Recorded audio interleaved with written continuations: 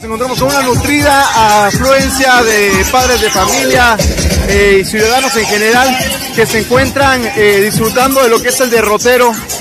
del desfile de este 20 de noviembre. Vemos a las autoridades que están justo en la plaza 28 de julio y a los contingentes de estudiantes del nivel básico